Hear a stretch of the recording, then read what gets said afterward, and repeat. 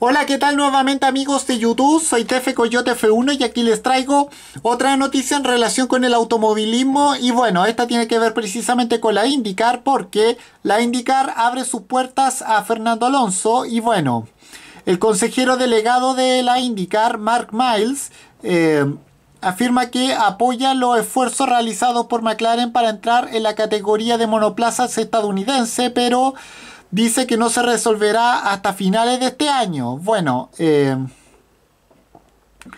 bueno, eh, estará Fernando Alonso eh, en la IndyCar durante la temporada 2019. Bueno, Estados Unidos, bueno, Estados Unidos y los fanáticos americanos se emocionan ante la posibilidad de que el bicampeón mundial de Fórmula 1 aterrice en su en, su competición para el año que viene. Ciertamente es la opción más probable por si quedaba una duda del interés de la India en contar con un piloto de tirón de Alonso. Bueno, el consejero delegado eh, de la Indy, eh, Mark Miles, se ha encargado de abrir la puerta de par en par al piloto español. Y bueno.